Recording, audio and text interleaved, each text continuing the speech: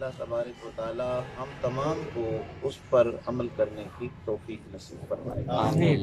बरदरान ग्रामी मरतबत ये तो बात अटल है इसमें कोई दूसरी राय नहीं है। कोई अपने ख्याल के मुताबिक या जहन के मुताबिक बात कहता रहे कि जो है अगर हम दीन पढ़ेंगे कुरान बच्चों को पढ़ाएँगे बच्चों को हदीस का जो है वो कुरान का आलिम बनाएँगे तो बच्चे का मुस्तबिल उसका क्या बनेगा? बरदरान ग्रामी मरतबत हज़रत सैदना उम्र फ़ारूक रज़ी अल्लाह हो आपसे बड़ी आपके दौर में कौन सी हस्ती है? हज़रत उम्र फ़ारूक रज़ी अल्लाह के बारे में हुजूर ने फरमाया, आना ख़ातमन नबी जीन अला नबी अबादी लौका नबादी नबी जन लकाना उमर। मेरे उम्र की शान ये है कि मैं आखिरी नबी मेरे बाद नबूबत का दरवाज़ा बंद, लेकिन अगर दरवाज़ा खुला होता तो मेरा उम्र नबी होता। इतनी बड़ी शान और इतना बड़ा मकाम और आप 24 लाख मुरबा मील के हुक्मरान। हमारा ये पाकिस्तान पौने पाँच लाख मुरबा मील है। लेकिन आप अंदाज़ा तो करें ना, पौने पाँच लाख मुरबा मील है ये पाकिस्तान।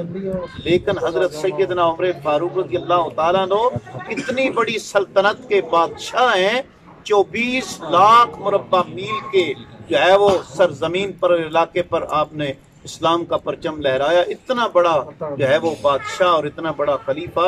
और फिर बरदरान ग्रामी मरतबत हाल ये कि हज़रत उम्र फारूक हो मस्जिद नबी के गली के अंदर, मस्जिद नबी के बाहर सेन में या गली में अगर ईंट का सिराना लेके पहलू बदलते हैं तो कैसरो किसरा के बादशाह मालूम में काम जाते हैं।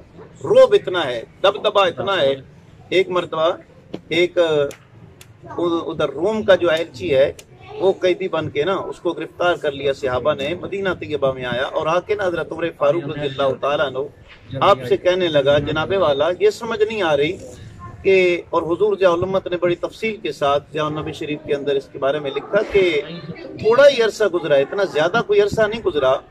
ये जो अरब के लोग हैं ना अरब के लोग इन्हें रूम वाले शाम वाले अपना नौकर भी रखना गवारा नहीं थे करते। अपना घर का खादम रखना तक गवारा नहीं करते। इतने इनके अखलाको किरदार के लिहाज से ये गिरे हुए लोग थे। और अचानक थोड़ा ही अरसा गुजरा है तो उम्र तुम्हारे अंदर ये तब्दीली इतनी आ गई कि तुम जो है वो लोग जिनको कोई अपना जो है वो नौकर नहीं रखता था। वो उम्मत के ताजदार बन गए, वो बादशाह बन गए, वो सलातीन बन गए। उनको जो है वो दुनिया ने अपना इमाम माना। हज़रत सैदना उम्र फारूक रज़ी ने तारीखी जवाब इर्शाद फरमाया, आपने यही इर्शाद फरमाया कि ऐ बंदे ऐ बंदे सुन ले, अगर ये पूछना चाहता है कि थोड़े से अरसे में अल्लाह ने तुम्हें इतना उरूज क्यों अता फरमाया? जिनको कोई गुलाम नहीं कर रखता वो तमाम कायनात के ताजदार कैसे बन गए? आपने फरमाया, बेशक ऐसी ही बात है, लेकिन अल्लाह ने हमारे अंदर अपना पैगंबर अब आखिरी जमान, अपना पैगंबर इनकलाब मोहम्मद अरबी की शक्ल में अल्लाह का, अल्लाह ने अपना प्यारा पैगंबर भेजा। उस नबी ने हमें किताब, कुरान अता फरमाई। हमने कुरान को इमाम माना, आमिना के लाल को अपना इमाम माना। हमारी इज्जतों को अल्लाह ने उरूज जो बख्शा है, हमें जो बादशाही अल्लाह ने अता फरमाई है, ये हमारी किस्मतों के धारे कुरान ने बदले हैं और साहेब कुरान ने बदले हैं। आज देख ले, आज तक उमर का नाम ज़िंदा है और जहाँ भी जो है हज़रत उमर फारूक रज़ी अल्लाह का नाम लिया जाता है, शैतान भाग भाग जाता है। बरदरान ग्रामी मरतबा, इतना बुलंद मरतबा, इतनी बुलंद शान, उन्होंने मेरे आका सलाम की दीनी की तो तबलीग की थी। तो बरदरान ग्रामी मरतबा, मैंने आपके सामने जो आयत तयबा पढ़ी है ना आयत तयबा उनके अंदर भी तरबियत के हवाले से काफ़ी सारी गुफ्तु उनके अंदर भी है। हजूर जालमत रहमत ने इस सूरह मुबारक के शान नजूल और इसके इब्तदाई के अंदर हजूर जालमत रहमत फरमाते हैं कि ये वैसे तो सारा कुरान अलहमद से लेकर वन नाज तक 114 सूरतें, सारी बाकमाल हैं, सारी बाजमत हैं, लेकिन इस सूरह मुबारक के अंदर ऐसा कमाल है कि इमाम शाफी रहमत के वाले से हजूर लिखते हैं कि दो सहाबा अगर आपस में मिलते, मुलाकात करते, उस वक़्त तक वो जुदा ना होते, जब तक ये सूरत एक दूसरे को सुना लेते। वालसर इन इंसान लफ़ी खुसर इल्लज़ीन आमन व अमिलसालक़ात व तवासो बिलहक़ व तवासो बिसब्र इसका तर्जमा क्या है? वो भी ज़रा समात फरमा लें। अल्लाह तबारक व ताली ने इरशाद फरमाया कि वल मुझे जमाने की कसम है। अब इससे मुराद कौन सा जमाना है? बरदरान ग्रामी मरतबत मुख्तलिफ़ तरह की तफसीरें की गई हैं। इससे मुराद वक़्त असर जो हमने अभी नमाज़ अदा की है, ये भी मुराद लिया गया है। मुतलक ज़माना भी इससे मुराद लिया गया है। आशकों ने अपना ही, उनके अपने अंदाज होते हैं। उन्होंने कहा कि इससे मुराद वो मुबारक और नूरानी वक्त है, जिस वक्त अल्लाह ने अपना प्यारा हबीब इस कायनात के अंदर भेजा। जब सैदा तैयबा ताहिरा आमिना की गोद के अंदर अल्लाह का प्यारा हबीब तशरीफ़ लाया तो बरदरान ग्रामी मरतबत इर्शाद फरमाया, वल असर, मुझे जमाने की कसम इंसान नुकसान में है, इंसान खसारे में है, इंसान घाटे में है। या अल्लाह, सारे इंसान घाटे के अंदर जा रहे हैं, सारे इंसान नुकसान में जा रहे हैं, खसारे में जा रहे हैं फरमाया, नहीं, सारे नहीं जा रहे सारे नहीं जा रहे। वो कुछ लोग ऐसे भी हैं जो खसारे में नहीं जा रहे। फरमाया, वो चार किस्म के लोग हैं जो खसारे और घाटे के अंदर नहीं जा रहे, बाकी घाटे और खसारे और नुकसान के अंदर जा रहे हैं। फरमाया, इल्लल्लजीन आमनू, वो लोग जो ईमान लेके आए। कौन से लोग? जो ईमान लेके आए। ये जरा याद कर लो ना, छोटी सी सूरत है, उसका मफहूम आपके सामने बयान कर रहा हूँ। फरमाया, इल्लल्लजीन आमनू, वो लोग जो ईमान लेके आए अब ईमान किस चीज़ का नाम है? ईमान किस चीज़ का नाम है? नारे लगाने का नाम ईमान है। नारे लगाने का सिर्फ़ नाम ईमान है? क्या सिर्फ़ जो है वो महफल करा लेना इसका नाम जो है वो ईमान है? नहीं, अल्लाह के प्यारे हबीब सलाम ने इसके बारे में भी इर्शाद फरमा दिया। अल्लाह के प्यारे हबीब ने इर्शाद फरमाया, ला जो मेनो आखदुकुम खत्ताकूना खब्बा इलेह मिन वालिदिही व वलदिही वन्नास अजमाइन तुम में से कोई आदमी उस वक्त तक साहिब ईमान नहीं हो सकता जब तक जहान की हर चीज़ माल औलाद कारोबार दुनिया उससे बढ़ के अपनी जान से भी बढ़ के मैं मोहम्मद से प्यार नहीं करता वो बंदा साहिब ईमान नहीं। उस बंदे का ईमान मुकम्मल ही नहीं है। एक मरतबा सईदना उमर फारूक रज़ी अल्लाह तनो आपने भी कहा था कि या रसूल अल्लाह माल, औलाद, हर चीज़ दुनिया की, उससे मुझे आप प्यारे हैं, लेकिन मुझे अपनी जान भी प्यारी है। अल्लाह के प्यारे हबीब ने फरमाया, उमर, तेरा ईमान अभी तक मुकम्मल नहीं हुआ। फिर अर्ज़ की, या रसूल अल्लाह अब मुझे अपनी जान, दुनिया जान, सबसे आप प्यारे हैं। हुजूर ने फरमाया, उमर, अब तेरा ईमान मुकम्मल हो गया है। तो ईमान कोई मामूली चीज़ नहीं है। ईमान बहुत बड़ी चीज़ है, अल्लाह तबारक ताला जिसे अता फरमाए, बहुत बड़ी दौलत है, ईमान की दौलत। आगे फरमाया वामिलुस्सालिहात ईमान लाया और फिर उसके उसके बाद नेक अमल भी किए। बरादरान ग्रामी मरतबा सिर्फ़ नेक अमल नहीं, पहले ईमान है। पहले ईमान कुरान के मुताबिक है, फिर उसके बाद नेक अमल है। और अगर कोई काफिर अच्छे अमल करता है, नेक अमल करता है तो उसकी आखरत के अंदर जजा नहीं है। आखरत के अंदर उसका नेकी का बदला नहीं है। बरदरान ग्रामी मतलब सबसे पहले ईमान, फिर उसके बाद वामिल सालिहात, फिर उसके बाद नेक अमल किए। आगे फरमाया, फतवासो बिल हक हक बात की तलकीन करते रहे। ये नहीं कि खुद तो नमाजें पढ़ते रहे, दूसरों को नहीं समझाया। खुद अच्छे काम किए, नमाज़ पढ़ी। औलाद को नहीं नमाज़ पढ़ाई, औलाद को नहीं अच्छे काम की तरफ़ लगाया। और मैं खुद एक जामिया चलाता हूँ बच्चियों का जिस तरह कारी साहब फरमा रहे थे ना, सौ फ़ीसद बात इसी तरह है कि हम दुनिया के लिए दीन को छोड़ देते हैं। बच्चियाँ आती हैं पढ़ने के लिए, आती जाती रहती हैं। बच्चियाँ आती हैं कुरान तर्जमा, तफसीर पढ़ने के लिए।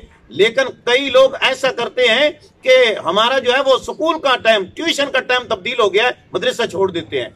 तर्जमा तो कुरान कुरान, तफसीर, हदीस, ये छोड़ देते हैं दुनिया के इलम की खातिर।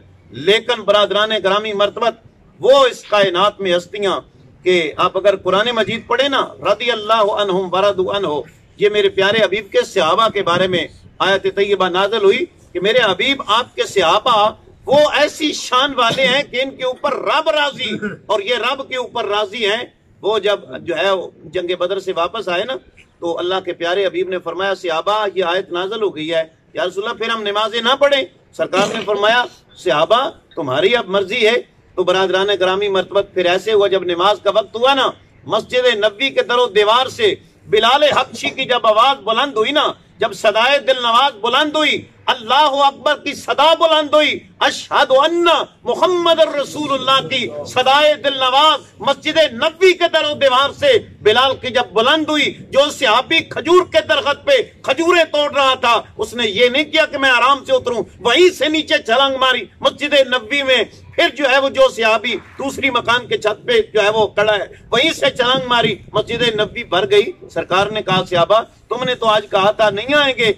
या रसूल अल्लाह या हबीब अल्लाह हमें जब बिलाल की आवाज़ कानों में पड़ती है, हमारा दिल ही नहीं करता कि हम कोई और काम करें। हमारा दिल करता है हम मस्जिद नबी के अंदर चले जाए।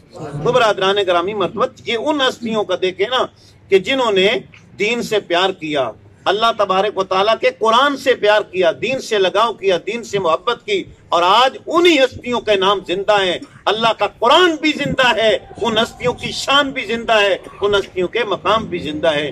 बरादरान ग्रामी मरतबत इस बात के ऊपर हमने वतवासो बिलखत हक बात की तलकीन, वो तो कर लेते हैं बाज नमाज़ पढ़ लेते हैं, औलाद को इस जानब नहीं लेके आते, बच्चियों को इस जानब नहीं लेके आते, बच्चों को इस जानब नहीं लेके आते अगर तुम्हारा कोई दोस्त है, कोई रिश्तेदार है, अगर वो बुलाई बुराई के अंदर मुलवस हो गया, गलत कामों में लग गया, आप परेशान लोग परेशान ही नहीं होते, हम परेशान ही नहीं होते। उसने जी अपनी कब्रे जाना है, हमने अपनी कब्रे जाना है। ऐसे करके हम जवाब दे देते हैं। हमारा कोई दोस्त हो, हमारा कोई रिश्तेदार हो बद मज़हब हो गया बद मज़हब के साथ दोस्ती हो गई, उनके साथ उठना बैठना हो गया, उसका दुनिया भी तबाह हो गई, आखिरत भी तबाह हो गई। हमें कोई फ़िक्र नहीं होती है बरादरान ग्रामी मरतबत, हमारा कोई दोस्त कुफर की तरफ़ जा रहा है, हम कोई उसे नहीं रोकते, लेकिन रोकना चाहिए। अल्लाह का कुरान कहता है कि वतवासो बिलहक हक बात की तलकीन करो। वही हज़रत सैदना उमर फारूक रज़ी अल्लाह तन हो आप जब हज का मौका आता ना, हज़रत उमर फारूक रज़ी अल्लाह तन ने थोड़ा सा टाइम रखा होता है, एक नशीस रखी होती है कि जो भी दूसरे इलाकों से लोग आते हैं ना, उनकी बातें आप सुनते हैं, उनको टाइम देते हैं, उनके लिए टाइम होता है। एक दफ़ा ऐसा हुआ कि मुल्क शाम से कुछ लोग आए। हज़रत सैदना उमर फारूक रज़ी अल्लाह तु की बारगाह में अपना कोई मसला बयान करने के लिए, कोई अपनी जो है वो टुकड़ा सुनाने के लिए, आपने फरमाया, तुम मुल्क शाम से आयो आपने फिर पूछा कि मुल्क शाम किस जगह से, किस इलाके से? जिस तरह सियाल सियालकोट है, अगर हमें कोई बाहर के मुल्क में मिले ना के, और पूछे कहाँ से आयो हम बताएँगे पाकिस्तान, पूछेगा पाकिस्तान के कौन से शहर से? तो हम कहेंगे सियालकोट। अगर फिर और करीब कुर्बत हुई तो वो कहेगा सियालकोट तो काफ़ी सारा है। किस जो है वो मोहल्ले से आए हो? हम कहेंगे पक्का गड़ा पक्का गड़ा से आए हैं। यूनियन काउंसिल के करीब से आए हैं। अरे वो फिर खुश होगा। फिर बताएगा, मेरा यार एक वहाँ पे रहता है। हज़रत तुमरे फारूक रज़ी अल्लाह तला पूछते हैं कि बताओ ना मुल्क शाम किस इलाके से हो? उन्होंने जिस इलाके का नाम बताया, हज़रत उमर फारूक रज़ी अल्लाह ने फरमाया कि मेरा एक वहाँ पे दोस्त रहता दोस्त रहता है। वो पहले अरब में रहता था, मुल्क बाद में मुल्क शाम चला गया। मेरी उसके साथ दोस्ती थी, मेरा एक ताल्लुक था, मेरा एक भाईचारा था उसके पास। तो मुझे बताओ कि वो मेरे दोस्त का क्या हाल है? वो ना थोड़े हिचकिचाने लगे। उन्होंने कहा, जी, हम उसे जानते तो हैं, लेकिन आगे बताने में थोड़ी हिचकिचाहट महसूस कर रहे थे। बता नहीं थे रहे। हज़रत उम्र फारूक ने कहा खोल कर बताओ मामला क्या है? मेरे दोस्त के बारे में मुझे बताओ. वो कहने लगे हुजूर बताएँ तो सही लेकिन मामला ये है कि हम हैरान और परेशान इस वजह से हैं हिचकचाहट ये हो रही है कि आप इतनी बड़ी बुलंदोबाला हस्ती आपका इतना मकाम आपकी इतनी शान और आपका दोस्त और वो तो हर वक्त नशे में रहता है शराब के नशे में दुत रहता है बहुत कम होश में आता है हज़रत उम्र फारूक की आँखों में आँसू आ गए। आप रोने लग पड़े। इतने आँसू आए कि दाढ़ी भीग गई। आपको जो है वो दुख हुआ, परेशानी हुई कि मेरा दोस्त, मेरा यार, मेरे साथ उसका ताल्लुक रहा और वो जो है गुनाहों के दल दल में यूँ फंस गया है और जो है वो शराब का इतना आदि हो गया है। बहुत कम होश में आता है। हज़रत उमर फारूक रज़ी अल्लाह ने आपने कागज़ मंगवाया और आपने कलम के साथ जो है वो खत लिखा। आपने फरमाया, जब तुम जाओ ना वापस मुल्क शाम तो ये मेरा खत लेकर जाना और उसे मेरा खत देना, उस वक्त देना जब वो नशे की हालत में ना हो। तो जो है उमर फारूक रज़ी अल्लाह ने खत लिखा, ऊपर उसका नाम लिखा, नीचे जो है वो सबसे नीचे आखिर में अपना नाम लिखा मैं उमर अबन और दरमियान में हज़रत, दरमियान में कमाल की बात लिखी। हज़रत उमर फारूक रज़ी अल्लाह जानते थे, उसका दिल गाफिल हो गया है और गाफिल दिल जो होते हैं, उनको अगर कोई चीज़ आबाद करती है तो वो अल्लाह का ज़िक्र होता है। अला ज़िक्र कुलूब। अगर दिलों पे जंग लग जाए लोहे पे जंग लगे रेत गाफिल हो गया है और इसके दिल की पंजर खेती को आबाद करेगा मेरे रब का कुरान आबाद करेगा। जिस तरह आपने फरमाया था कि हम बिल्कुल ऐसे लोग थे हमें कोई नौकर नहीं रख, नहीं था रखता। अरे लोगों सुन लो उमर की किस्मत को बदला कुरान ने बदला साहेब कुरान ने बदला। बरादरान ग्रामी मरतबत आपने सूरह मोमिन की आयात लिखी आपने लिखा हामीम तंजील किताब मिन अज़ीज़ अलीम। आपने फरमाया लिखा यहाँ पे हामीम तंजील किताब मिन अज़ीज़ अलीम। अल्लाह तबारक ताला का कुरान इसका मफहम ये है कि ये वो अजीम मरतबत किताब है। तंजील अलीम। ये उस रब की जानब से नाजिल की गई है। मिनल्लाहिल अज़ीज़ जो इस कायनात में सबसे ज़्यादा गालिब है। सबसे ज़्यादा जो है वो गालिब हस्ती है। वो मेरे रब्बुल्लामीन की है।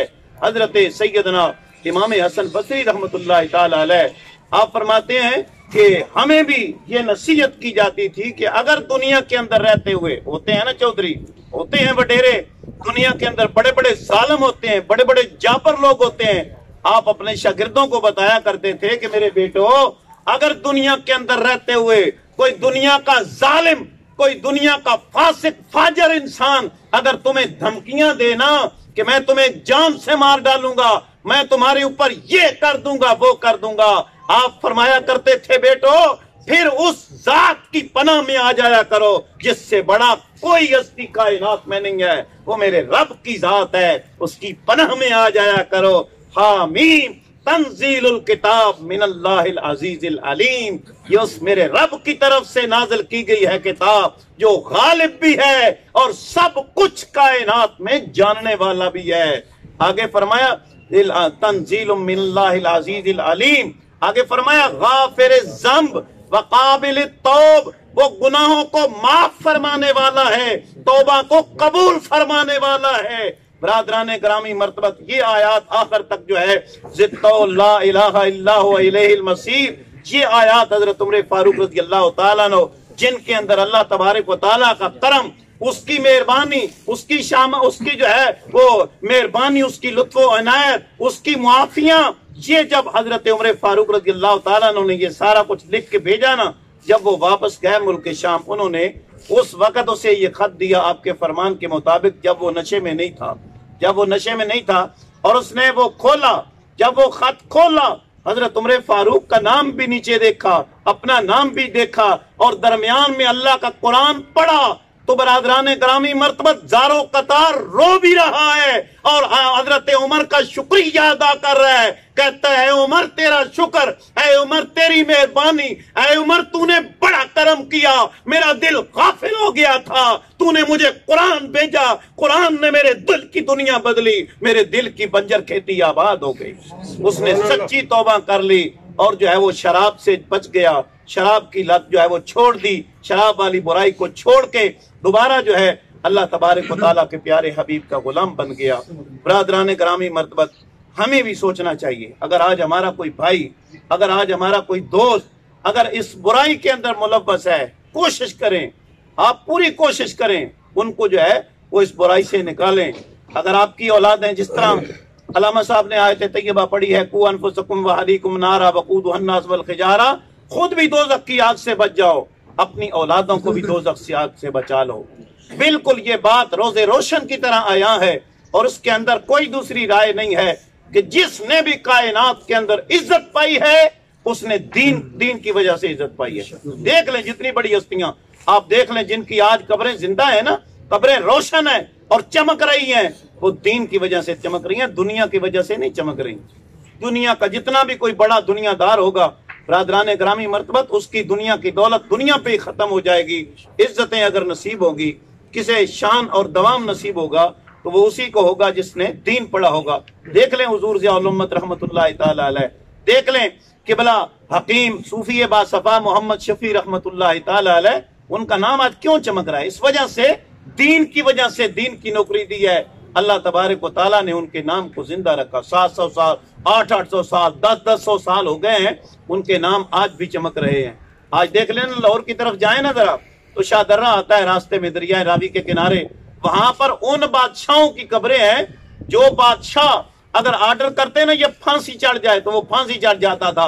अगर वो ऑर्डर देते, इसको जो है, फांसी इसकी छोड़ दी जाए, इसको फांसी ना दिया जाए, उसको फांसी नहीं था दिया जाता। वो मुतलकुल अनान दुनिया के बादशाह थे। इतनी दौलत और इतनी जो है वो उनकी रियाया थी। लेकिन, बरादरान ग्रामी मरतबत, आज उनकी कब्रें हैं और उनकी कब्रों पे कतबा भी लिखा हुआ है।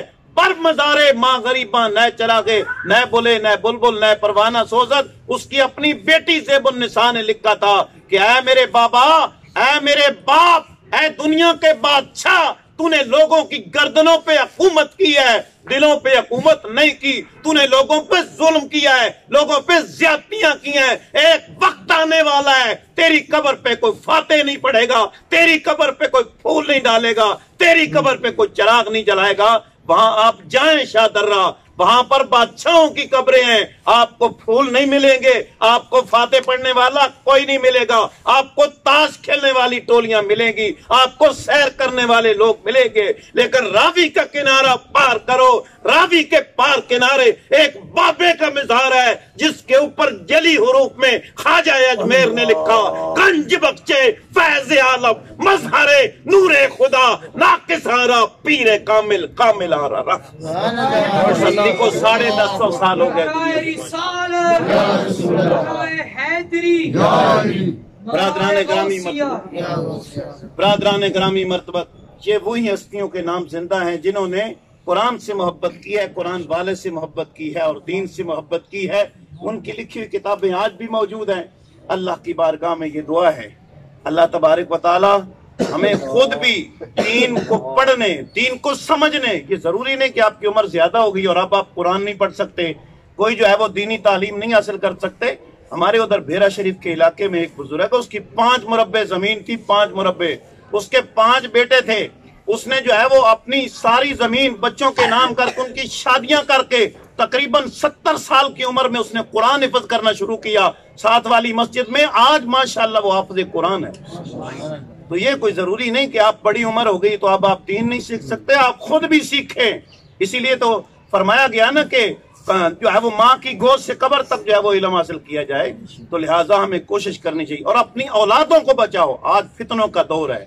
आज फितने बहुत ज़्यादा हैं, जिस तरह अलामा साहब फरमा रहे थे ना, ये फितनों का दौर है। आज के दौर के अंदर अपने ईमान को बचाना बड़ा मुश्किल काम है। लेकिन कैसे बचाया जा सकता है? अल्लाह फरमाता है, मेरे प्यारे बंदों की बारगाह में आ जाओ, तुम्हारा दीन भी बच जाएगा, तुम्हारा ईमान भी बच जाएगा। अगर ईमान सलामत चाहते हो, अल्लाह के नेक बंदों के साथ अपना ताल्लुक उस्तवार रखो और दीन को तरजीह दी जाए।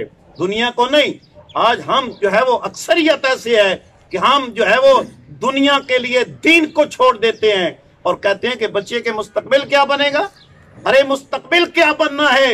ये कुरान वो आलीशान किताब है, दुनिया की तालीम जितनी भी है ना तुम्हारी, जितने भी तुम्हारे पास ओहदे हैं, वो सारे के सारे तुम्हारी आँखें बंद होंगी, तुम्हारे ओहदे खाक में मिल जाएँगे, लेकिन ये कुरान वो अजीम किताब है जो कबर में भी काम आएगी, हशर में भी काम आएगी।